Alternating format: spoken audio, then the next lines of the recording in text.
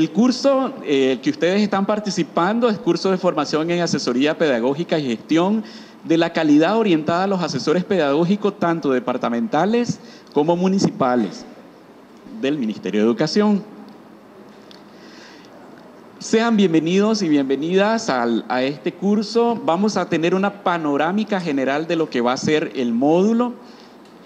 Y el módulo, el módulo está centrado en lo que es investigación, acción participativa y el uso de las TIC, sus aspectos básicos para la investigación educativa y la importancia para el desempeño de sus funciones y labores en las delegaciones. Hay algunas cosas, eh, cuando ustedes reciban su módulo dentro de unos minutos, quizás no, no necesiten irlo anotando todo, porque eh, están en el módulo, entonces para que no les quede ahí.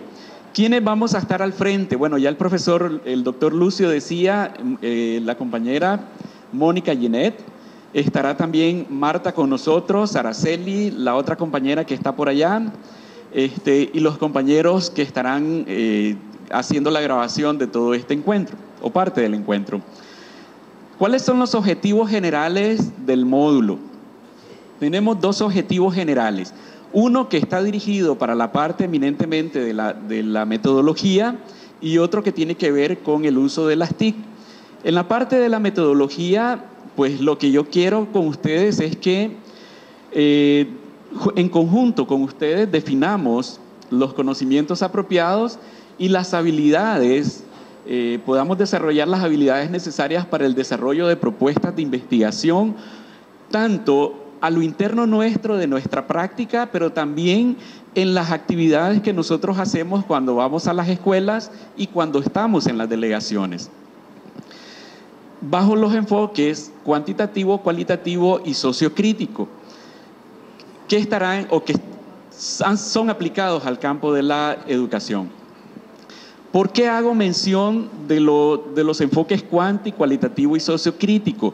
Si este módulo tiene énfasis especialmente en la parte última, lo que es lo sociocrítico, porque necesitamos, necesitamos aclarar algunas cosas y puestas en claro algunos elementos necesarios desde el punto de vista metodológico, entraremos al proceso más difícil, que es desestructurar, de quitarnos las ideas que nosotros tenemos alrededor del proceder en investigación para poder retomar las nuevas metodologías eh, desde la parte sociocrítica como tal o directamente lo que conoceríamos como la investigación acción participativa. ¿Por qué de esta manera? Porque ustedes de una u otra manera y los que levantaron la mano especialmente eh, que han, manifestando que han tienen alguna experiencia en estos procesos de investigación, ya ustedes han venido desarrollando estos procesos, especialmente desde el punto de vista cuantitativo.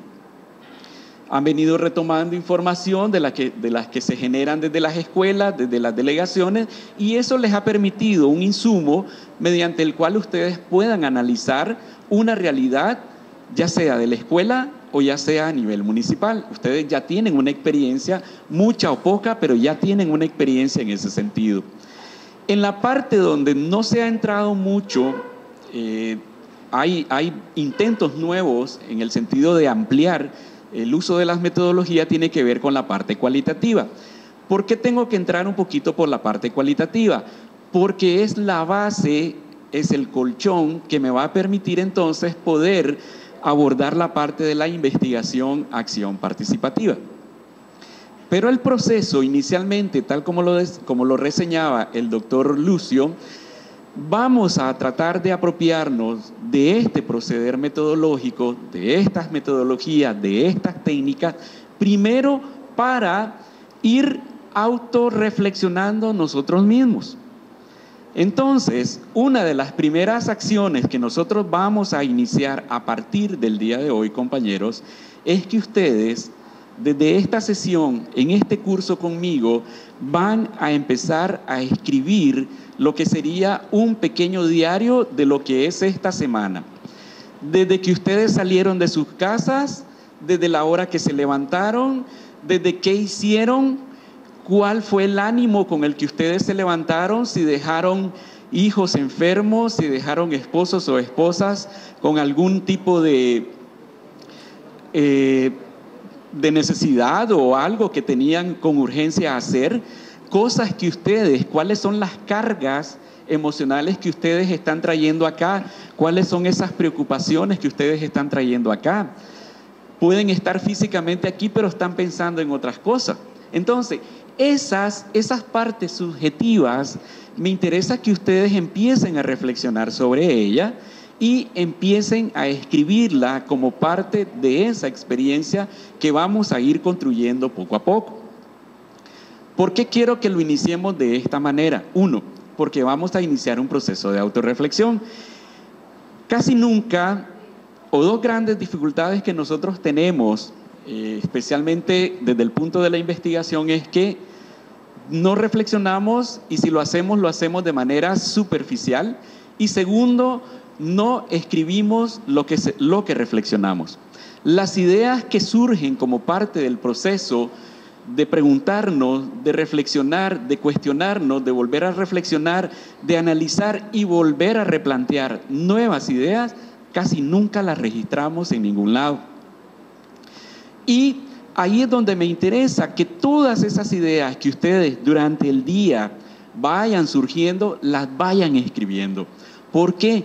Porque esto les va a dar y vamos a empezar a hacer ese proceso que permita poder ir creando o formando esa disciplina para escribir. ¿Por qué? Porque nosotros como cultura, como sociedad, somos una cultura eminentemente oral. Todo lo decimos. Mira, hay que ir a tal escuela, a tal hora hay que estar, un vehículo del MINSA o de la policía o de la alcaldía va para qué lado, pero nunca lo dejamos por escrito. Nunca decimos, mira, este, el informe de la escuela tal, ya lo recibimos, ya lo tenemos aquí, no te movas a la escuela. Y a veces nos vamos hasta la escuela cuando ya el informe lo tenemos en nuestros escritorios.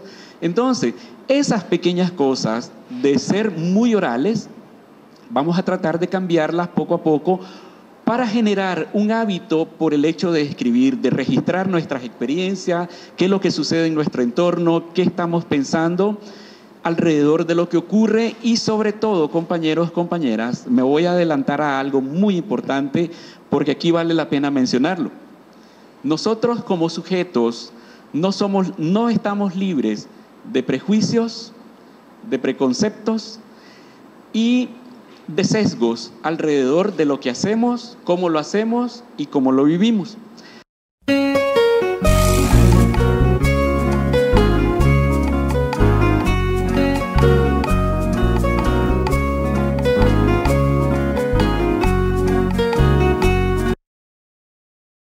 La unidad 1, en ella vamos a abordar los aspectos básicos de la investigación, conceptos básicos de investigación, un acercamiento a la investigación científica, así como la descripción sobre lo que son los paradigmas de investigación.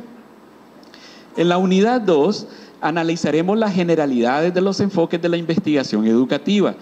Podremos diferenciar los enfoques de investigación tanto eh, desde lo cuantitativo, lo quali y lo sociocrítico. Ahí estableceremos cuáles, cuáles métodos y técnicas son comunes para todos ellos y cuáles métodos y técnicas son particulares de cada enfoque de investigación, para que podamos tener claro el escenario.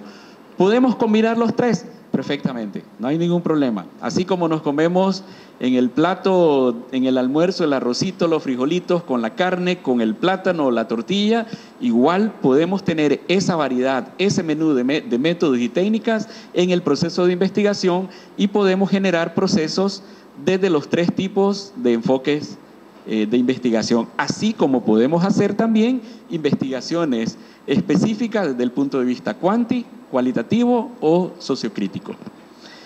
En la tercera unidad analizaremos propuestas para la construcción de ejes y líneas de investigación, de acuerdo o teniendo como base lo que propone el modelo de gestión de la calidad e inclusiva. Estos nos van a servir porque son los asideros legales eh, los que van a dar soporte a la identificación y a la construcción de estos ejes y líneas de investigación. La segunda parte corresponde a la unidad cuarta y tiene que ver con el componente TIC en la educación básica y media, así como ustedes analizarán la política de tecnología de la información y comunicación TIC y los aportes de estas en la investigación acción participativa. La introducción al módulo.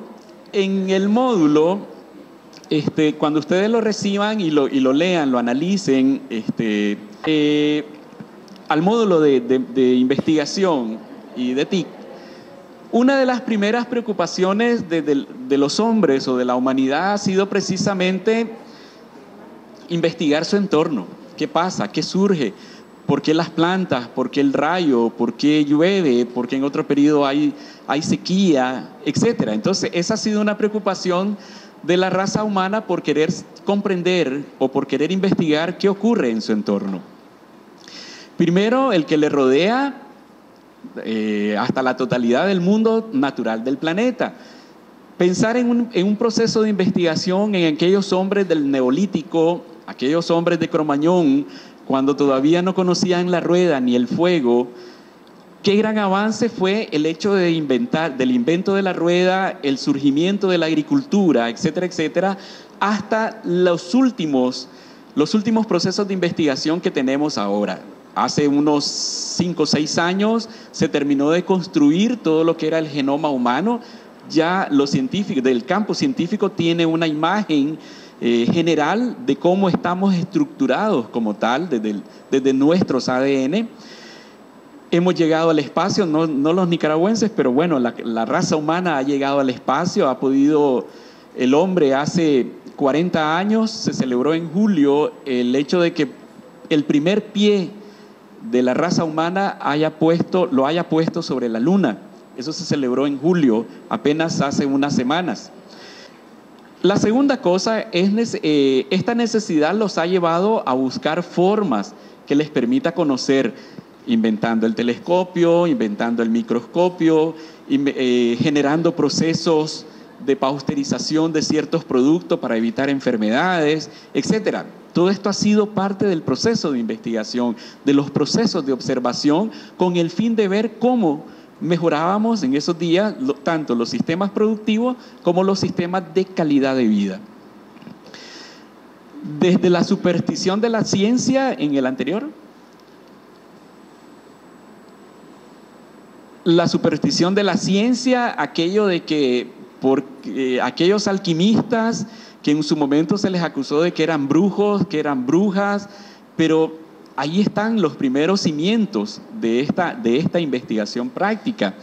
Eh, y hasta desembocar en los años siguientes en esas experiencias personales que lo tenemos plasmados en los diferentes libros, tomos, tratados, leyes que existen alrededor de cada una de estas disciplinas eh, que han venido siendo estudiadas por años de años. A finales del siglo XIX, desde el punto de vista de las ciencias sociales, el surgimiento de las ciencias sociales, la aparición de la sociología o el invento de la sociología como ciencia por ahí de 1869, retomó desde las ciencias naturales el proceder de investigación, retomó sus métodos, retomó sus técnicas para aplicarlas al quehacer eh, social.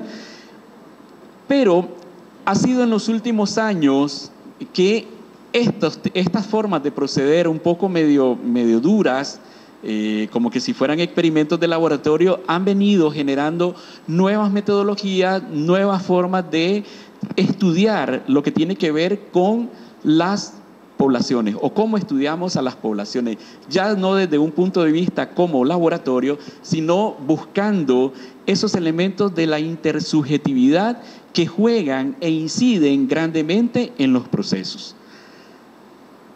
¿Cuántas veces nosotros hemos llegado a nuestros trabajos decaídos, tristes, pero quizás ha habido una palabra de aliento de un compañero, de una compañera, un simple gesto de cariño, una palmadita en el hombro, una de, una de te invito a un cafecito, aunque sea el que vayamos a tomarnos ahí en la cocina, en las delegaciones, o el, o el frasquito que saquemos del escritorio para compartirlos con otros, ¿cómo cambia nuestra percepción del día? Pensamos que íbamos a iniciar con un día feo, pesado, lleno de, neblina, lleno de rayos, truenos, pero cómo muchas veces un gesto de uno de nuestros compañeros, de un estudiante, nos cambia completamente nuestra sensación de ese día. Son cosas muy, muy interesantes y eso es lo que ha venido entonces a rescatarse desde la parte de las ciencias sociales con el fin de recoger en, en los nuevos métodos y en las nuevas técnicas esa otra parte, ese otro elemento que no necesariamente forman de los experimentos de laboratorios con los que iniciaron las investigaciones desde el campo social a mediados del siglo XIX. Los fenómenos tienen una, doble, una doble dimensión, tanto en el tiempo como en el espacio. La realidad que vivimos hoy, los problemas que vivimos hoy, no necesariamente tienen que ser los de mañana, pero los problemas de hoy no son necesariamente los problemas de ayer. Entonces la pregunta viene, si los problemas de hoy no se parecen en nada o no tienen relación con lo de ayer, pero tampoco van a tener relación con lo de mañana, porque mañana no lo sabemos, ¿por qué muchas veces nosotros seguimos procediendo en nuestra vida cotidiana de la misma manera? Si cada día es completamente diferente, si cada día tenemos diferentes estados emocionales. Hoy estamos alegres, mañana estamos tristes, mañana estamos deprimidos, mañana vamos al médico, nos quedamos en el siguiente acostados porque estamos agobiados, estamos cansados, pero ¿por qué seguimos haciendo los procesos tan rutinarios, tan mecánicos, como que si no ha pasado nada, como que si ese tiempo es inalterable? El tiempo tiene saltos y bajos, tiene saltos y bajos. Y ese tiempo, son casi 20 para las 10 de la mañana, no se parece en nada a los de hace dos horas. Hace dos horas muchos de ustedes todavía estaban en camino hacia acá, venían preocupados, con ansiedad, el taxi que no agarraban, el bus que no llegaba a tiempo, algunos pensaron, ¿y por qué lo hicieron hasta en el Ticomo? Pero estamos aquí. Entonces, ahora hemos cambiado nuestro escenario, hemos cambiado nuestro contexto y nos hemos, y nos hemos dispuesto a desarrollar la actividad que tenemos con la mejor disposición cuando ya han pasado estas pequeñas eh, alteraciones, si pudiéramos decirlo de esa manera. Entonces, aquí es donde viene que además de tiempo y espacio, somos sujetos dinámicos. Y cuando somos sujetos dinámicos, somos sujetos que estamos inmersos en la acción. Y podemos pasar a la tercera. La importancia de la investigación entonces de los problemas en la educación no solo radica en el conocimiento, no solamente radica en decir voy a crear una nueva metodología para la didáctica, voy a crear una nueva metodología para el, desempeño del docente en el aula de clase. No, no necesariamente tenemos que llegar hasta esos puntos. Si lo hacemos magnífico, porque damos saltos, saltos grandes en, el, en la producción de conocimiento y en la producción de libros nacionales que aborden nuestra problemática, pero a partir de la experiencia nuestra. Todavía nosotros seguimos en su gran mayoría estudiando con libros de autores que vienen de fuera. Pero cuánta agua ha pasado sobre, debajo del puente, cuánta experiencia hay aquí en esta sala que bien pudiéramos apilar varios volúmenes sobre diferentes aspectos de nuestra realidad educativa. Pero ¿qué es lo que sucede? Lo que les mencionaba hace un momento. Somos muy orales. No sistematizamos lo que vivimos. No sistematizamos lo que experimentamos y sobre todo no lo dejamos, y si lo hacemos, no lo dejamos escrito.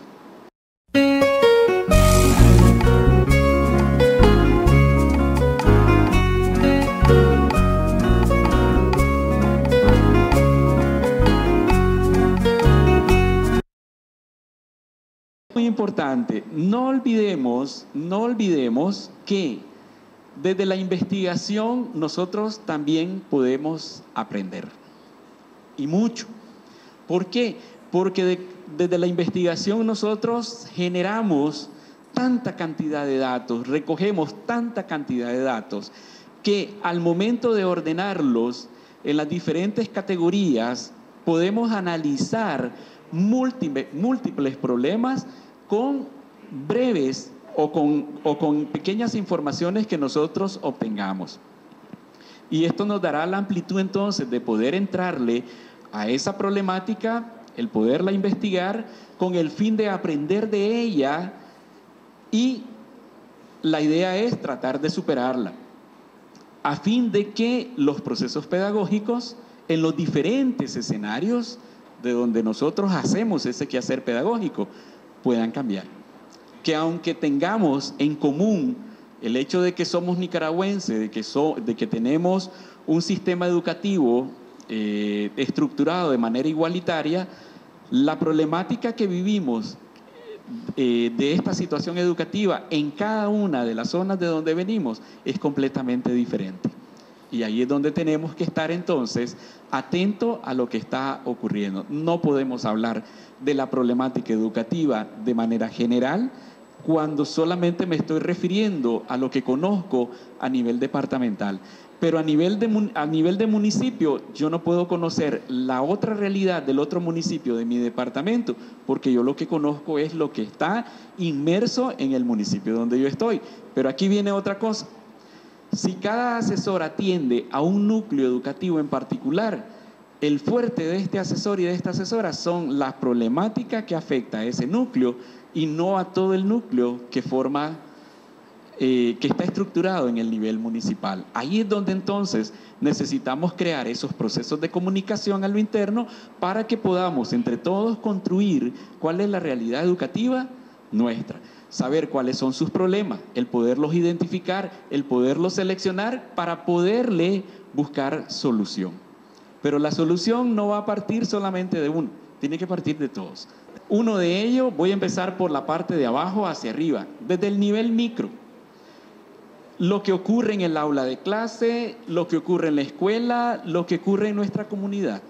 El maestro de un grado perfectamente puede estudiar su realidad a partir de la información que le lleva o que logra captar de sus alumnos, pero también puede aprender de su propia práctica.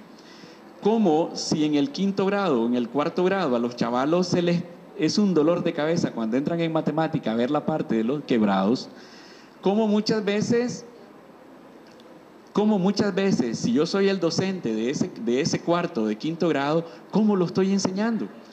¿Qué dudas están generando en los chavalos? ¿Por qué no me están aprendiendo bien esta parte? ¿Cómo puedo flexibilizar o qué otras estrategias debo de utilizar para poder hacer que ellos capten el aprendizaje que estoy tratando de compartir con ellos para que en un momento dado ellos puedan aplicarlo de manera concreta. Y ahí nosotros podemos, podemos empezar a investigar, podemos empezar a reflexionar si con las actividades que llevamos son suficientes o necesitamos ampliarlas. O si son del año pasado y solamente las reactualizamos en este otro año. No, ¿cómo podemos generar otro? ¿Cómo desde el entorno podemos generar ese otro aprendizaje que podamos complementarlo con lo que está en el libro de texto para poderlo relacionar con el contenido curricular que vamos a desarrollar. Y ahí es donde tenemos que tener esa astucia, esa chispa de poder reflexionar cada día alrededor de lo que está pasando. En el nivel meso, aquí ya sería a nivel de las delegaciones, a nivel de las delegaciones municipales, eh, cuando queremos analizar lo que está ocurriendo a nivel de los núcleos educativos, por ejemplo. Y en el nivel macro, el nivel más alto puede ser a nivel de lo que ocurra en el departamento, la situación educativa de los diferentes municipios, etc. Y hay otro nivel más alto a nivel de la sede, por ejemplo, que ya los estudios que se hacen ahí, las investigaciones, los análisis, las sistematizaciones que se hacen, se hacen de toda la realidad educativa. ¿Quién alimenta todo ese proceso de información? Lo alimentamos ustedes y yo. Desde abajo, desde los, desde los datos de la escuela hasta lo último que sube en información para acá la sede. Pero la pregunta es, ¿cómo estamos construyendo nuestra información? ¿Cómo? Y ahí es donde nosotros tenemos que tener esa preocupación porque nosotros encontramos que se maneja cifras de una, en, una cierta cantidad, se maneja cifra en otra cierta cantidad y nunca hay una cifra exacta de, qué de qué es lo que tenemos. Entonces, la pregunta es, ¿cómo se está construyendo el dato? ¿Cómo se está recopilando los datos? El dato incluso hasta del desempeño del docente. fin de que esto cambie. Pero para que el modelo pueda ser viable, el modelo va a ser viable en la medida que nosotros lo interioricemos y lo, y lo pongamos en práctica en cuanto a su esencia como tal, en su concepción epistemológica, para poder reconocer entonces cuáles son los compromisos que yo tengo en la construcción y en la generación de estos procesos de calidad. ¿Por qué? Porque la calidad, si bien es cierto, eh, inicialmente se ha gestado desde la parte alta, pero este es un proceso de comunicación de doble vía. Por un lado baja, pero por otro lado sube. Y es un ciclo, un ciclo que no se detiene porque es un ciclo que se retroalimenta de manera permanente. Y en ese proceso de retroalimentación nosotros jugamos un papel muy importante. Y para retroalimentarnos, compañeros, vuelvo a la palabrita que ya a algunos de ustedes quizás no les va gustando, la autorreflexión. Ahí tengo que volver a ella. Recordemos lo siguiente, no olvidemos lo siguiente. Uno, la investigación es una forma de aprender, pero de aprender sobre lo que hacemos. Es contar con las posibilidades de desarrollar sus propias capacidades, para que puedan plantearse preguntas que les permitan comprender lo que ocurre a nuestro alrededor, poner a prueba nuestras ideas, generar explicaciones que podamos compartirlas con los otros y con las otras. La investigación como forma, la investigación es una forma de generar conocimiento de nuestra realidad educativa, pero también de nuestra propia práctica, cómo estamos haciendo nuestro desempeño docente, cómo construimos nuestro desempeño docente día a día sea desde el aula de clase, sea desde la escuela, la comunidad, el núcleo educativo o bien, como ya se los decía, lo que es nuestra práctica. Finalmente, la investigación como aprendizaje constituye una opción innovadora que permite no solo acercarnos al conocimiento, sino también construirlo para qué? Para sistematizarlo, para experimentarlo, para innovarlo y para generar nuevos espacios que nos lleven a los cambios que buscamos. Para eso nos va a servir. Antes de entrar a la parte de los paradigmas, quiero hacer una quiero detenerme un momentito aquí en esta parte para poder entrarle entonces a la parte de los paradigmas. Y la pregunta que yo me hacía cuando estaba, cuando estaba tratando de construir cómo, cómo, cómo iba a compartir con ustedes esta cuestión de, los, de la metodología de investigación, y yo miraba de manera retrospectiva y buscando en algunos libros, sí, datos, algunas cuestiones, y yo encontré lo siguiente, que a lo largo de nuestro, de donde yo recuerdo, pues, eh, de donde yo recuerdo y lo que está documentado. Nosotros hemos tenido diferentes modelos educativos a lo largo de los años. Por ejemplo, de 1950, un largo periodo, hasta 1979. El, el, sistema educativo de la época tenía y respondía a la lógica social de esos años.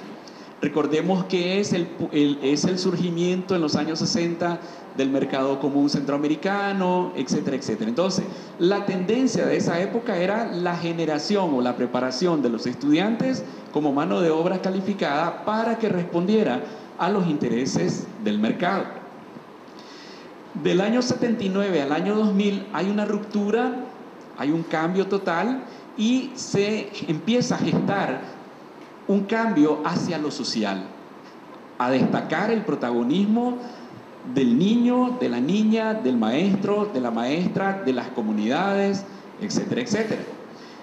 Del año 2000 al año 2006 hay otra realidad educativa eh, que, todos, que todos lo conocemos como el, el, proceso, año 2000, el, el, proceso de gestación de lo que sería eh, la autonomía escolar, la descentralización educativa con, con mayor fuerza, etc. Pero todos estos modelos educativos han estado dirigidos hacia la escuela.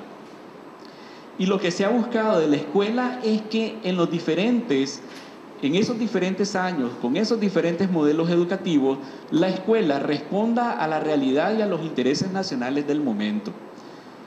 Eh, y lo que mencionaba de 1950 a 1979, el énfasis mayor estaba orientado hacia el mercado, responder con mano de obra calificada a las, necesidades del mercado de ese momento, la forma como estaba estructurada nuestra economía que respondía a un proceso de desarrollo hacia afuera, afuera en el sentido de que generábamos mano de obra y lo poco que producíamos eh, lo comercializábamos dentro de nuestro sistema de mercado común, pero muy poco se lograba ir hacia afuera.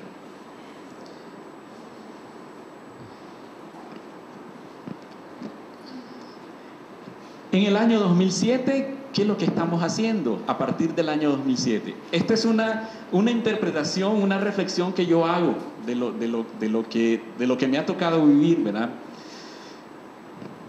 La escuela nuestra tiene necesidades, carencias, dificultades. Siempre la ha habido, siempre la ha tenido. Pero la realidad local, la realidad educativa local, eh, también tiene esta, esta característica de ser llena de necesidades, de carecer de elementos y de presentar dificultades. Pero de una u otra manera se ha, se ha, tratado de incidir en cambios de esa situación educativa con la participación de las, de las autoridades del ministerio, con la participación de ustedes como funcionarios del ministerio, con los docentes, con los alumnos, con la comunidad en general, con los padres y madres y con las diferentes agencias que apoyan o han venido apoyando el devenir educativo nuestro. ¿Para qué?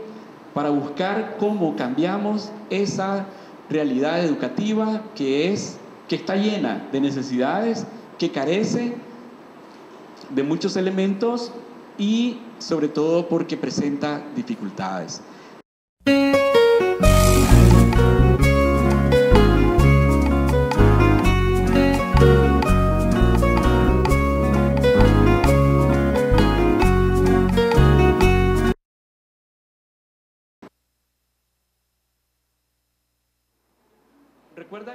Anteriormente, en horas de la mañana, antes de que saliéramos al almuerzo, en la lectura que, hacíamos de, la estrofa que había escrito Pablo Freire, hablaba de un proceso de investigación como resultado del sentido común. O sea, cuando nosotros desarrollamos nuestro proceso a partir de preguntarnos qué ocurre, cómo funciona esta cosa, pero sin de una manera natural, sin ningún tipo de, de, concepción científica o metodológica o epistemológica que nos guíe el proceso de investigación.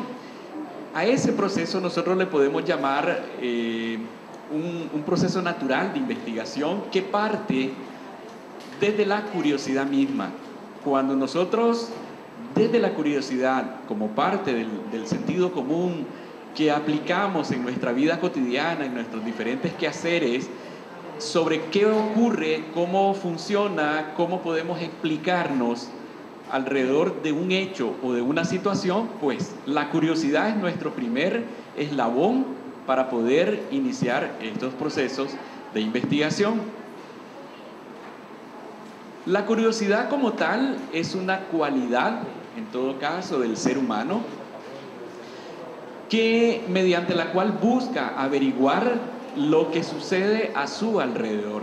Fue lo que empezaron a hacer, lo que mencionábamos en horas de la mañana, aquellos primeros hombres y mujeres que empezaron a reflexionar de qué es lo que ocurría en el interior de su comunidad y poco a poco esta forma de hacer ciencia, de hacer investigación, fue ampliándose a otros campos del saber y se ha estructurado toda una metodología para poder entonces abordar desde la epistemología y desde la metodología procesos de investigación más científicos, mejor estructurados, con una mejor metodología y con todo un instrumental técnico que nos permite entonces recuperar los datos, analizarlos, explicarlos y darlos a conocer o divulgarlos. Esta situación lo lleva al individuo a investigar con el propósito de estudiar, analizar, comprender y explicar los hechos que ocurren a su alrededor. Pero en este caso, desde el, sentido común, nosotros nos preguntamos desde la curiosidad qué ocurre. Y esto qué ocurre desde la curiosidad, un primer método que nosotros aplicamos es el método de la observación.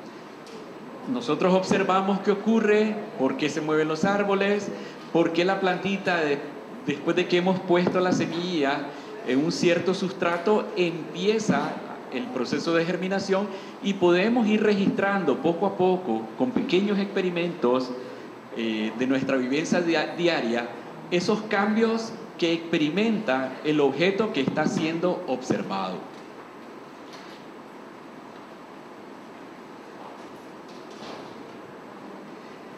Pero la pregunta que nos debemos hacer es, ¿qué es investigación?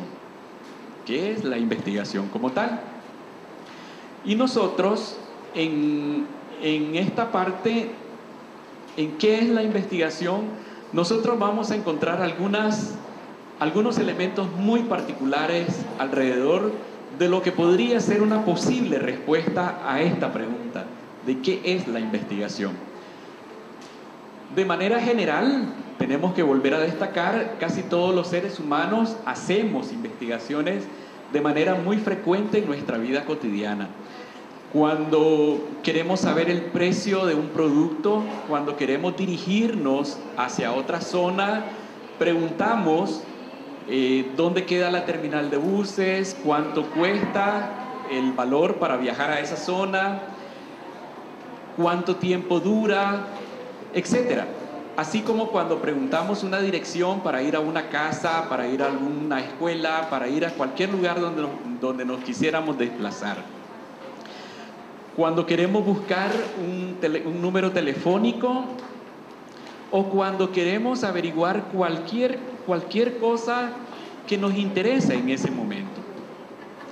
Podemos incluso tomar ya documentos escritos que están en nuestro medio, que son parte de nuestro medio, donde podemos encontrar esas pequeñas informaciones. Por ejemplo, ¿a quién le gusta el deporte? ¿Cuánto les gusta el béisbol? ¿Cuánto les gusta el fútbol? Pues ahí, desde las páginas deportivas, ustedes encuentran pequeños datos estadísticos de cómo un partido, el partido de su el equipo de su preferencia, cuántos juegos va ganando, cuántos juegos va perdiendo, con qué equipo se ha enfrentado, con qué equipo va a jugar al siguiente día, cuántos goles metió Ronaldinho, para los que les gusta seguir esa, esa, esas estadísticas nosotros las encontramos desde las páginas deportivas.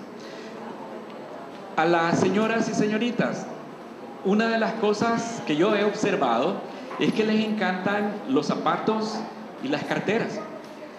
Y muchas veces encontramos en los periódicos suplementos donde viene un estilo de, este producto y ya trae un precio. Entonces, ¿qué tenemos? Información alrededor de ese producto. En otros casos, dentro del mismo periódico también, si queremos encontrar las tasas de cambio en cuanto a la relación del Córdoba con el dólar, cuánto es la tasa oficial, nosotros también encontramos desde los periódicos esas pequeñas informaciones. Una tercera razón de qué es investigación podríamos decir que es una actividad, y aquí sí ya nos vamos acercando a un concepto, es una actividad propia de la naturaleza humana, pero no por esta condición debemos considerar que todos los seres humanos son investigadores. El ser investigador no necesariamente es facultad para todos, no todos estamos facultados para hacer investigadores. Aquí tenemos especialistas en una, en una disciplina específica, cuántos son matemáticos, cuántos son del área de español, cuántos son del área de las ciencias, tanto naturales como sociales, pues entonces encontramos esa diversidad. Así también encontramos que no todas las disciplinas investigan, pero en disciplinas específicas que tienen que ver con lo humano, con lo social, de manera concreta con la, educación, sí podemos investigar qué es lo que ocurre alrededor de ella. ¿Cuál es la situación de la escuela? ¿Cómo está la situación de accesibilidad a la escuela? ¿Qué condiciones de organización presenta la escuela? ¿Cómo es el, el desempeño de los docentes? ¿Cuál es el nivel de logros que tienen los alumnos en sus procesos de aprendizaje? Etcétera. Hay un montón de cosas que podemos investigar. Entonces, esta es una actividad que hacemos únicamente nosotros los seres humanos. Hay unos que les costará, hay otros que sentiremos que esto es para nosotros eh, lo más sencillo, el podernos involucrar en esto, pero es parte de esa, de esa situación. De igual manera se procede Podemos proceder en el aula de clase cuando él o la docente, ante un problema de hábito de lectura, por ejemplo, eh, que tienen sus alumnos y alumnas, deseamos investigar para comprender cómo, cómo están aprendiendo la, la metodología de la lectura. ¿Cuáles son las dificultades que estos niños y niñas tienen? Ya sea para pronunciar, ya sea para interpretar, ya sea incluso hasta para contarnos lo que están leyendo desde, desde, la lectura que hacen de ese pequeño artículo que, que puedan tener en sus manos. La otra pregunta que podemos hacernos es qué enseñarles, cómo enseñarles, con qué estrategia, con qué mecanismos, con qué recursos, con qué medios educativos. Ahí nos preguntamos entonces con el fin de qué, con el fin de hacer lo más sencillo, compartir con ellos de manera, de manera sencilla los conocimientos con el fin de que se apropien y puedan ir construyendo sus propios aprendizajes. Y esto nos lleva necesariamente a tener que hablar de lo que nosotros conocemos o vamos a, conocer, a reconocer a partir de hoy de lo que son los paradigmas de investigación. Para poder conocer esa realidad, para poder analizarla, para poderla interpretar, para poderla explicar, necesariamente tenemos que tener una base en la cual nosotros podamos eh, sentarnos en ella, ajustarnos en ella para poder desarrollar estos procesos de investigación. Y la pregunta sería, una primera pregunta para los compañeros, compañeras que ya, han, que ya tienen alguna experiencia en, procesos de investigación, ¿cómo definirían ustedes lo que, lo que son los paradigmas? ¿Algún voluntario o voluntaria? Ubiquémonos un poco en la construcción del concepto. ¿De dónde viene este concepto de paradigma? Efectivamente tiene que ver con, alguno, con algunas pequeñas definiciones que ustedes han señalado que tiene que ver con una forma de proceder, como algo ya previamente establecido, una forma de guiar un determinado proceso, pero esto tiene que ver mucho con los enfoques de investigación y por lo tanto cada enfoque de investigación tiene dos características muy propias. Una, un nivel epistemológico, un nivel metodológico que va a caracterizar a ese paradigma que en el momento nosotros, con el cual nosotros pudiéramos estar trabajando. Aproximadamente decíamos en la mañana desde mediados del siglo XIX, desde las ciencias naturales, las ciencias sociales que surgían en ese momento, por ahí de 1869 con la sociología, eh, se toma prestado de las ciencias naturales el proceder y el paradigma que en ese momento eh, era el que, el, que más, el que estaba más, el, que era más accesible en ese momento. La forma de cómo estudiar la, la ciencia, la, la naturaleza, había todo un proceso prácticamente a seguir de qué es lo que teníamos que hacer inicialmente, cuál era el siguiente paso que teníamos que hacer, cuál otro, cuál otro, cuál otro, hasta llegar al resultado. Y es así como desde las ciencias naturales se, maneja este concepto del laboratorio de que todo, si se somete a las condiciones como tales y lo seguimos registrando poco a poco, llegaremos a un resultado, a un resultado final, que puede ser ya un producto, una planta, el cambio que pueda tener o experimentar un, un mamífero, por ejemplo, o cambios que pudieran haber en, los procesos gestacionales, etc. Entonces, el paradigma en cuanto a concepto, este significa de la manera más sencilla como el conjunto de normas y creencias básicas que sirven de guía a la investigación. El paradigma entonces es un sistema de creencias y de normas que sirven de guía para la investigación.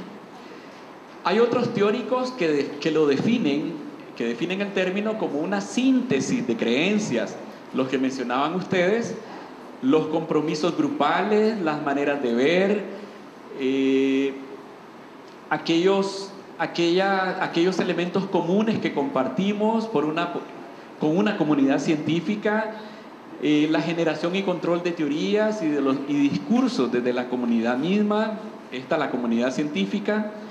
Los paradigmas funcionan de manera a manera de patrones, modelos mentales o reglas operativas. Y hay todo un proceso qué hacemos primero, qué hacemos después y qué hacemos posteriormente para llegar a esos resultados.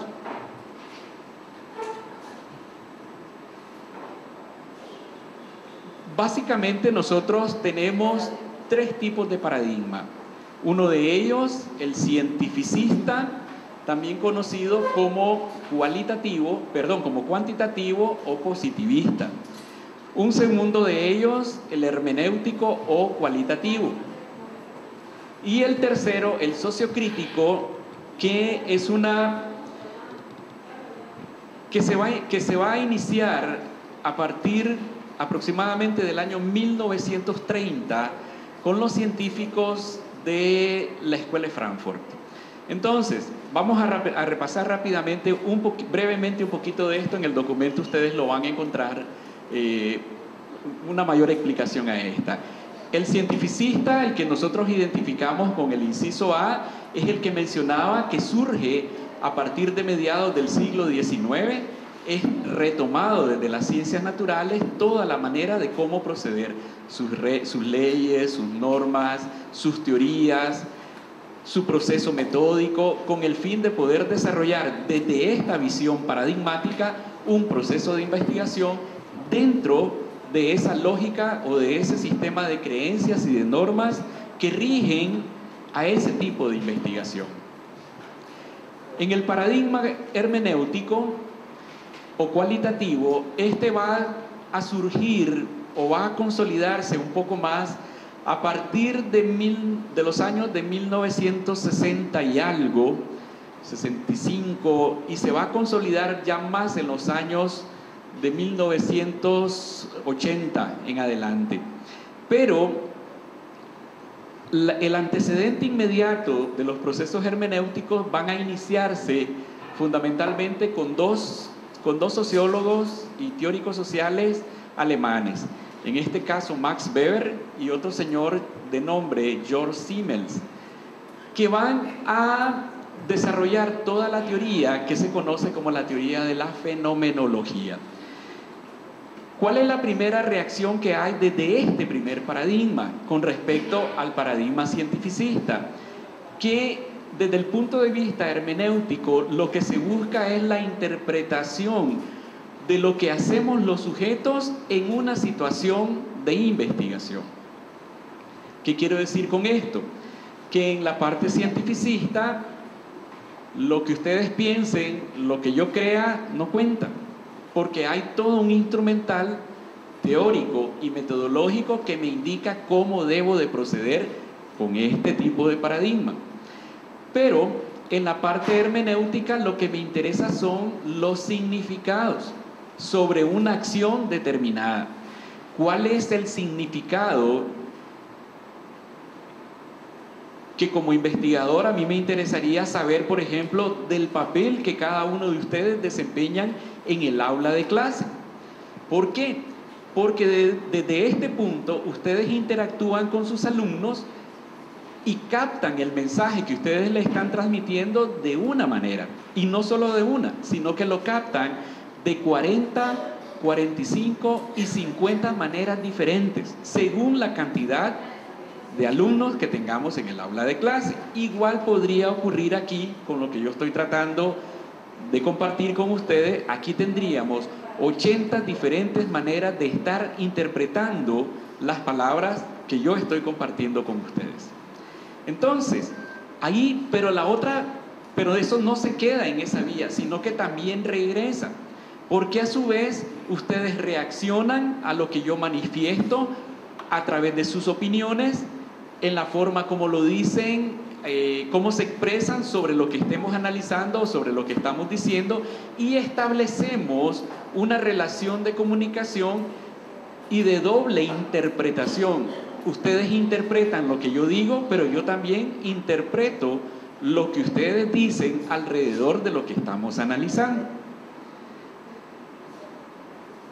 En la parte sociocrítica, la parte sociocrítica, tanto, tanto el, paradigma hermenéutico como el, como el paradigma sociocrítico son son una, surgen como reacción o, para anteponerse al paradigma cientificista.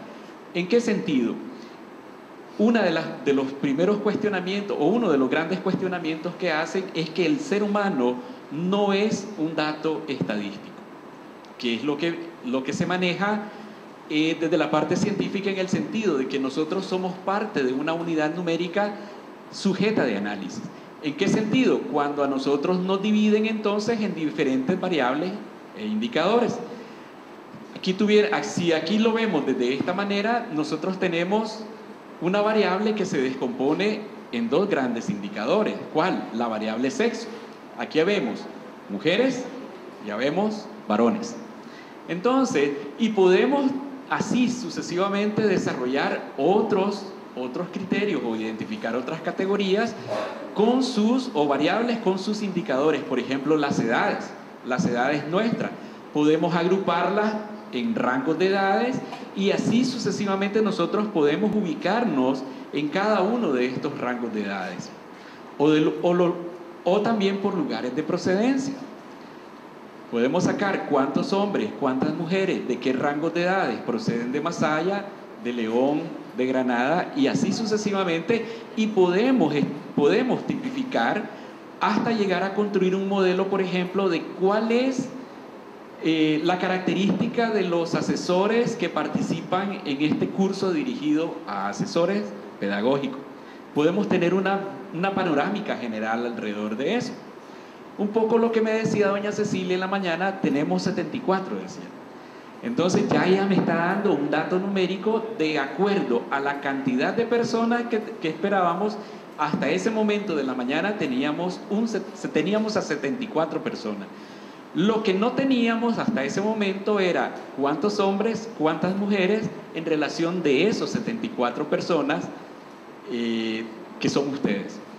No teníamos datos tampoco, por ejemplo, sobre sus lugares de procedencia, sobre sus edades, sobre sus años de experiencia, sobre sus diferentes especialidades, por ejemplo, sino que ya esos datos nosotros podemos encontrarlos en los registros que ustedes han venido llenando a medida que se han ido integrando a este proceso. Ahí ya sabemos nombres, ya podemos saber cuántos hombres son, cuántas mujeres hay, cuáles son sus edades, de dónde vienen. Podemos irlos agrupando de esa manera. Los dos paradigmas puros que podemos tener aquí son el cientificista y el cualitativo. Un paradigma que es híbrido, que combina los dos elementos de estos dos paradigmas anteriores, es el relacionado al sociocrítico. La parte visible del paradigma sociocrítico nosotros lo vamos a encontrar en aquellos procesos de investigación-acción participativa. ¿Cuál es la ventaja de estos procesos de investigación-acción participativa? Que puede combinar el elemento estadístico, el elemento del muestreo para poder seleccionar una población, una muestra de una población sujeta de investigación y combinar con elementos tanto metódicos y técnicos desde la posición eminentemente hermenéutica para interpretar las subjetividades. Pero también el, el paradigma sociocrítico ha venido desarrollando sus propios métodos y sus propias técnicas.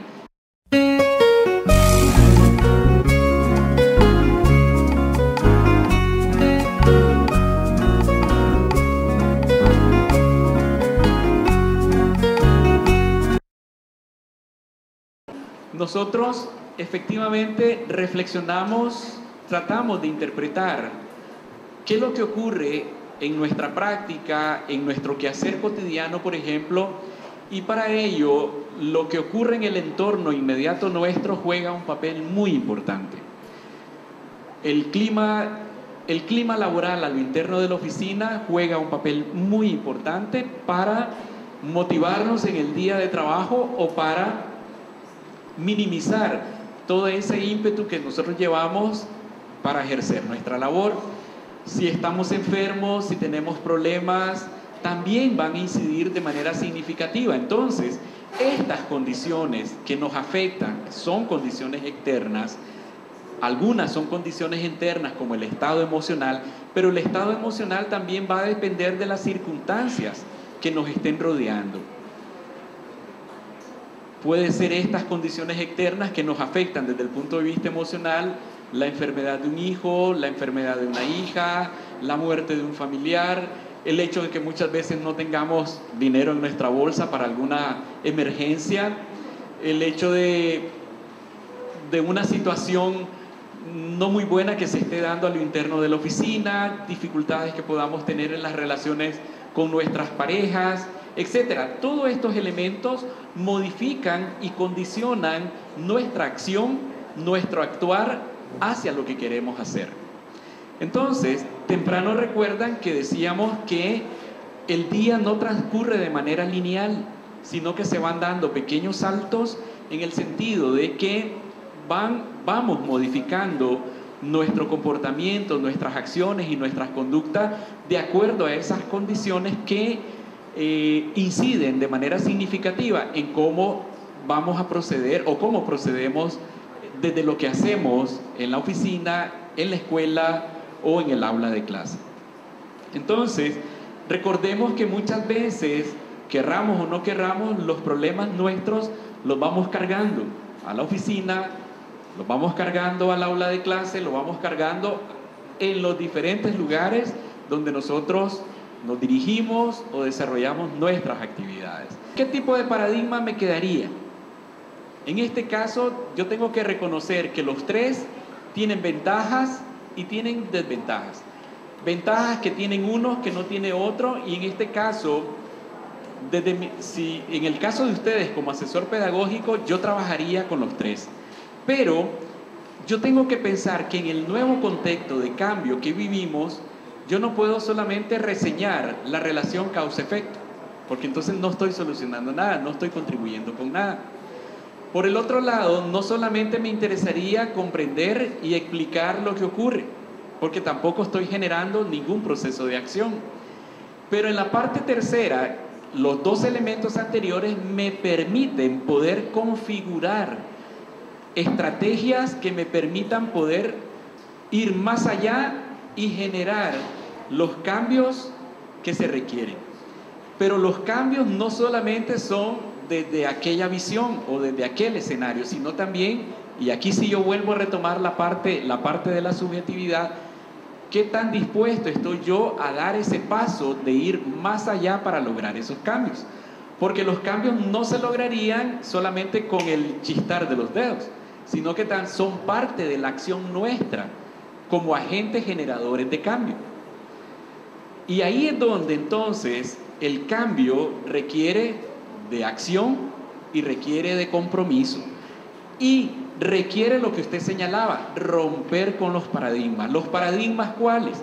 Los paradigmas que nosotros hemos venido construyendo alrededor de cómo venimos haciendo la cuestión, cómo venimos desarrollando nuestro trabajo, cómo venimos haciendo nuestro proceso de visita de, trabajo a las escuelas o a los núcleos educativos.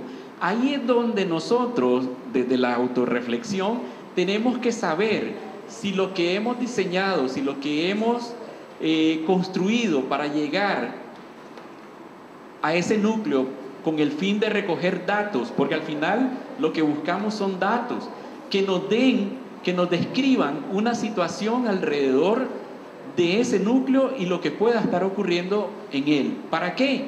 ¿Solamente para saber qué es lo que ocurre? No. Lo que queremos es entonces generar procesos que induzcan al cambio. Pero el cambio no se induce solamente porque ya diseñé la estrategia, sino que también tengo que motivarla a su implementación y eso me obliga a tener que ir más allá. ¿Cuál es más allá?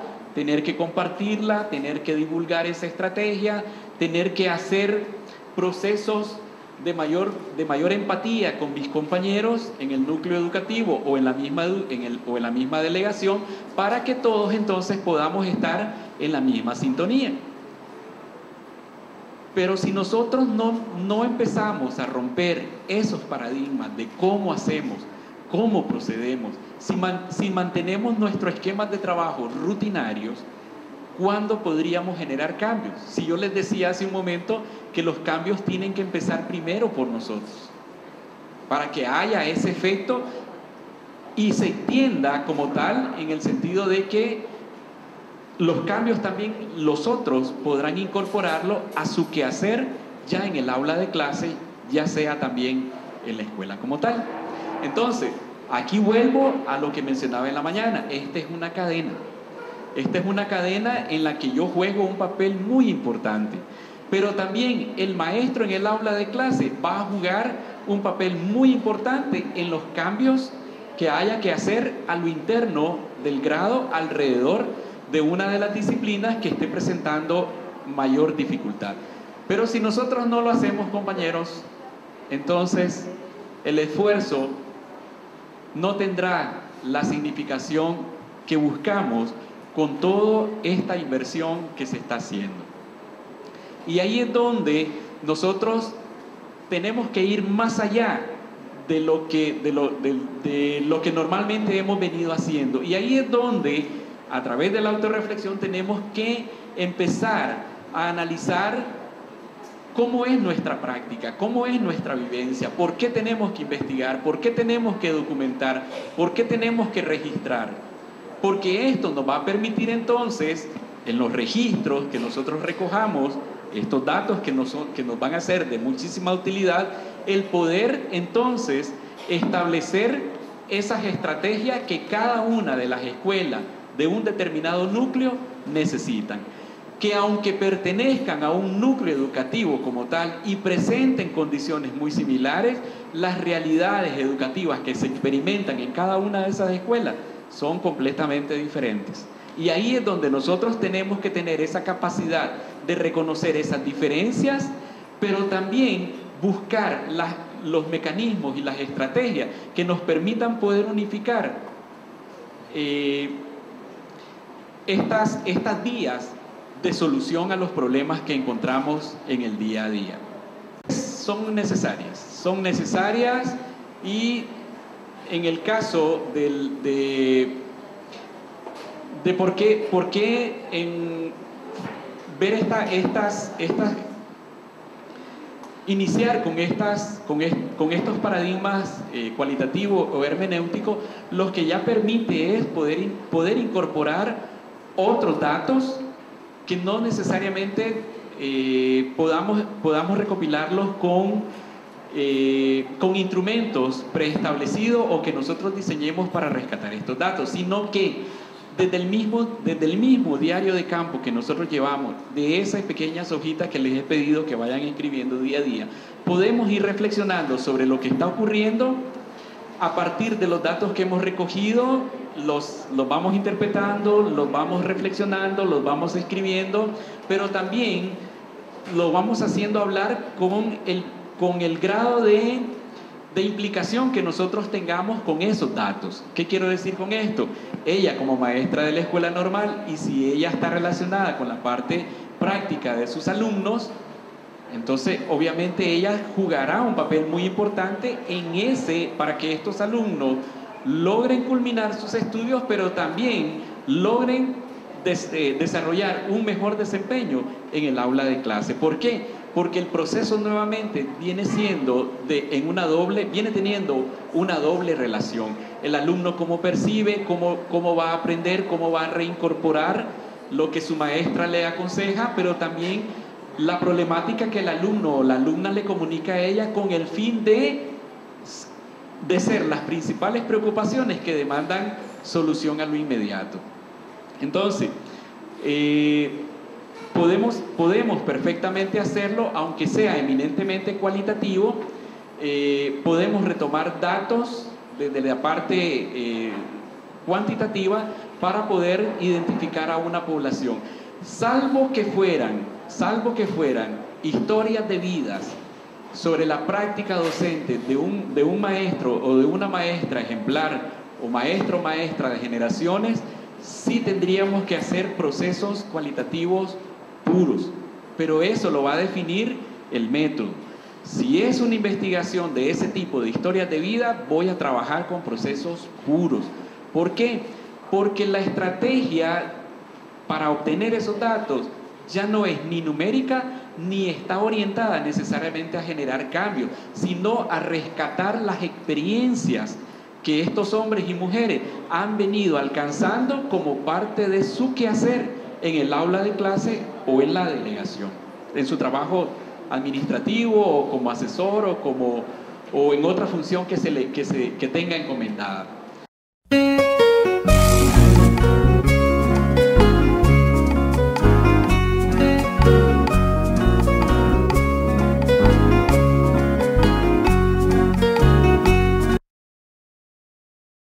Para poder creer que efectivamente lo que se construye y se construye mediante procesos de participación tiene el fundamento necesario para que sea algo bueno. ¿Por qué hablo del, por qué hablo del proceso de, de participación? Porque ustedes, de una u otra manera, participan en los TEPSES.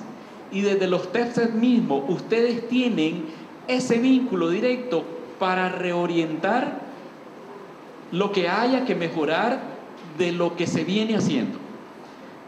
Y sobre todo, para apropiarnos de la nueva concepción educativa que se está construyendo. Pero esta construcción es una construcción colectiva. Todos, de una u otra manera, estamos aportando nuestro grano de arena para que esto sea efectivamente una realidad. Y ahí es parte de todo este proceso. Entonces, efectivamente, lo que, lo que conocemos de lo, a partir de un año para acá sobre el modelo global de calidad educativa y, recientemente el, el, modelo de calidad inclusiva, esto tenemos que pensar primero cuáles son los referentes o cuáles son las bases para sustentar este modelo. Este modelo, pues, las bases que establecen esta nueva condición está dada primero por las aspiraciones de gobierno, segundo, las aspiraciones de gobierno se traducen en esas políticas educativas que, que, nosotros hemos venido conociendo en los últimos dos años, en estas cinco grandes políticas. Estas cinco grandes políticas nos marcan distintas rutas que nos permitan poder, en este caso, diseñar estos modelos, generar todo un proceso de transformación curricular con miras a desarrollar procesos de calidad.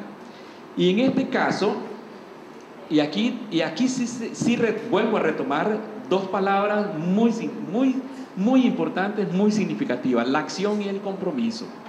¿Por qué? Porque la estructura del modelo es un modelo de acción, es un modelo dinámico, es un modelo en el que nos, nos nos lleva a poder estructurar nuevos procesos, nuevas formas de organización. Pero para poderla, para poderla hacer, mecánicamente podemos hacerlo, pero nosotros estamos dentro de ella, nosotros somos parte de ella. Y si queremos que esto funcione, tenemos que comprometernos, comprometernos a asumir el papel que cada uno de nosotros tiene que desempeñar, pero desempeñarlo de la manera consciente, responsable y con todo el nivel de profesionalismo que cada uno de nosotros tenemos para que esto sea posible. ¿Por qué? Porque a través del nuevo modelo nos estamos anticipando al futuro. Estamos diseñando y pensando qué tipo de educación necesita esta sociedad. Inicialmente, qué tipo de educación necesitan sus hijos y los míos. Pero también qué tipo de educación se necesitan o van a, o, van a, o tenemos que brindar a las generaciones futuras. Entonces, ¿para qué? Para aprovechar al máximo las oportunidades y las alternativas que podemos encontrar desde el modelo mismo, pero también para prever, prever y minimizar los riesgos y dificultades que podamos encontrar en el proceso. ¿Cuál va a ser nuestro papel que debemos desempeñar utilizando los métodos y las técnicas de investigación-acción, pero también la facilidad que nos van a dar las herramientas TIC para mejorar los procesos, tanto a lo interno de nuestra práctica, de la delegación misma, para poder generar esa, esas, esas nuevas condiciones de calidad que buscamos. Porque, y ahí es donde, de una manera circular, a partir del análisis de la, de la realidad en la parte de baja, baja como punto, como punto de entrada, nosotros elegimos elegimos la acción,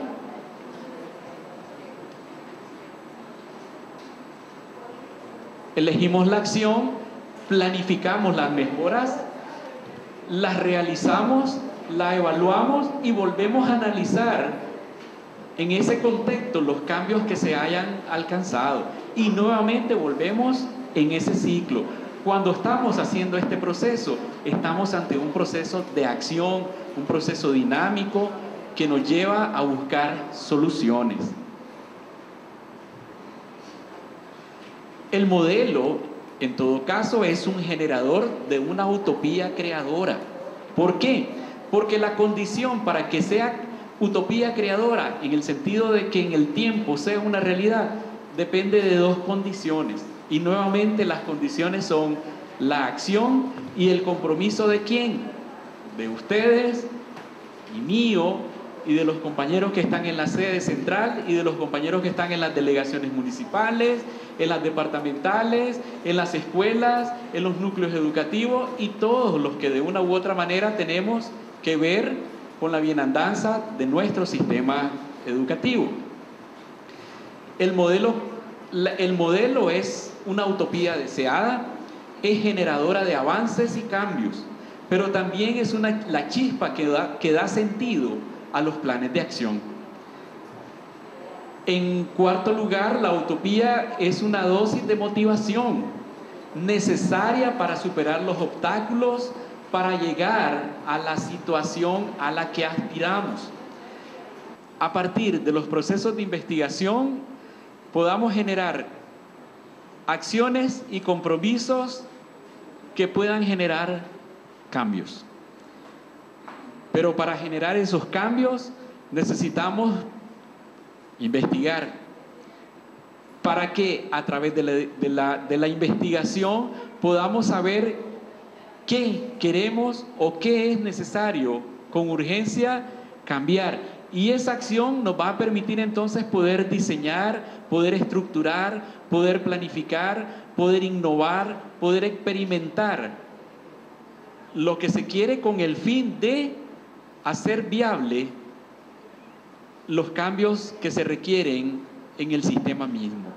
Y ahí es donde está el papel nuestro. Ese es el papel que jugamos nosotros en el sentido de cuando yo preguntaba en, en las primeras horas de la mañana, ¿quién debe hacer los procesos de investigación? ¿Tiene que venir alguien de fuera? ¿Tiene que venir gente de otras universidades? Cuando hablábamos de, de todo el material con el que nosotros nos formamos en, los diferentes escenarios educativos. No, aquí tenemos esa riqueza.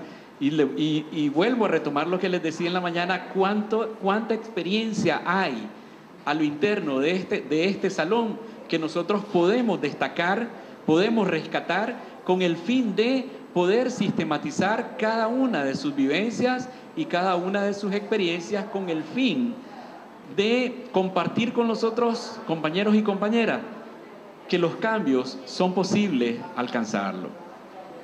Pero para hacerlo necesitamos comprometernos.